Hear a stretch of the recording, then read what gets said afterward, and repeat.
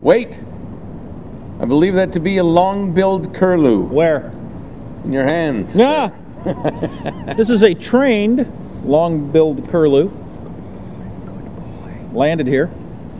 And uh, you can see many of these in rice country, this and many, many other birds in the Pacific Flyway because of rice, the environmental crop. Millions of birds, flocks of thousands of geese landing all the time. Long-billed curlews, etc. 230 different species calling California rice fields home. It's the environmental crop, baby.